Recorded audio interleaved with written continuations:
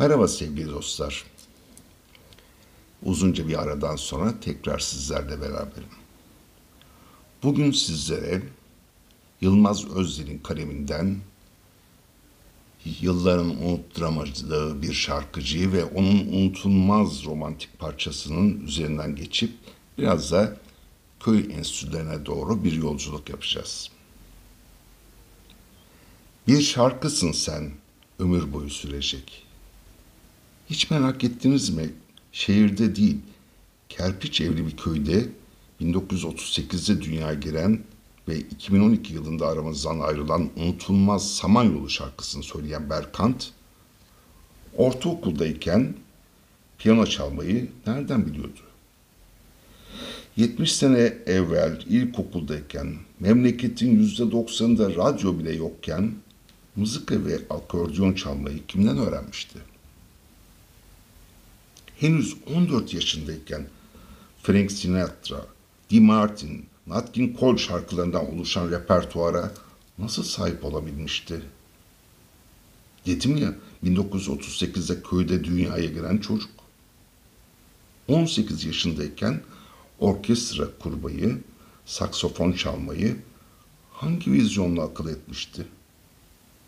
Çünkü babası Hasan Akgürgen'in köy enstitülerindeki görevi nedeniyle Ankara'nın Hasanoğlan köyünde dünyaya gelmiş, ilkokula Hasanoğlu köy enstitüsünde başlamış, babasının adını, babasının tayini gereği Bilecik'e, Denizli'ye gitmiş ama ailesi tarafından hep köy enstitüsü ruhuyla büyütülmüştü.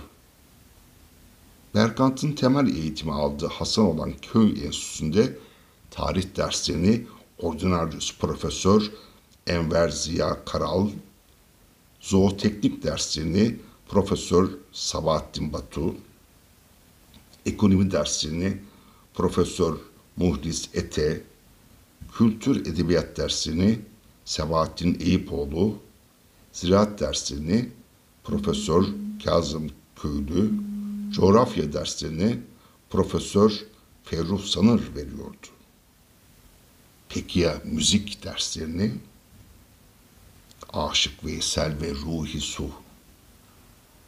Ankara Konservatuvarı'nın saygın ustaları klasik müzik öğretiyordu. 1945 senesinde Hasan olan köy enstitüsünün enstrüman demirbaşı şöyleydi. 259 mandolin, 55 keman, 37 bağlama, 8 akordiyon, 3 piyano, 3 davul, 1 metronom ve 1 pick-up.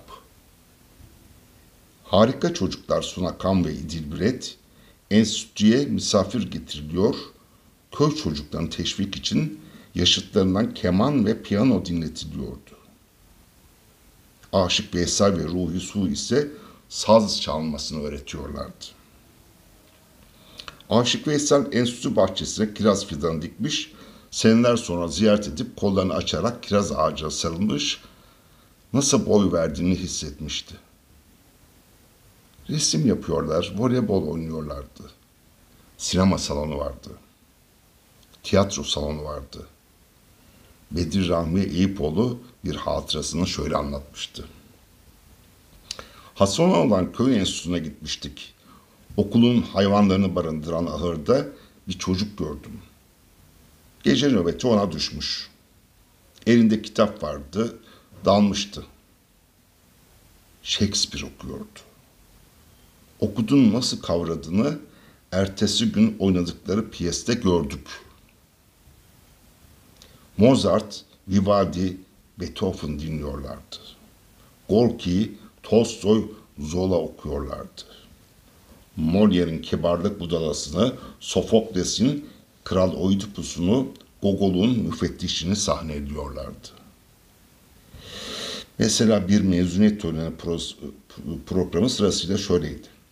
İstiklal Marşı, bağlama konseri, türküler, mandolin konseri, şiirler, keman konseri, piyano konseri, koro, Anton Çehov'un bir evlenme teklifi, diploma takvimi ve topluca oynanan zeybek. Tüm zamanların gelmiş geçmiş en şöhretli şarkısı Samanyolu'nu ölümsüzleştiren dededen toruna nesiller boyu adeta marş gibi ezberleten Berkant işte bu ruhun Türkiye'ye armağanıydı. İşin ilginç tarafı romantizm tarihimizin en önemli şarkısının adı Samanyolu ama şarkının içinde bir tek kelime Samanyolu geçmiyor.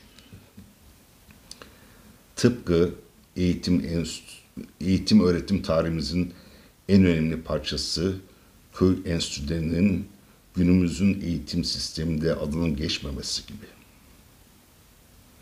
Bu hoş yazı için Yılmaz Özlü'ye gönlüne sağlık diyoruz.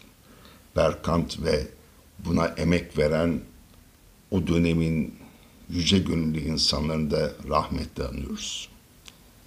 Sevgiyle, saygıyla kalın, hoşça kalın.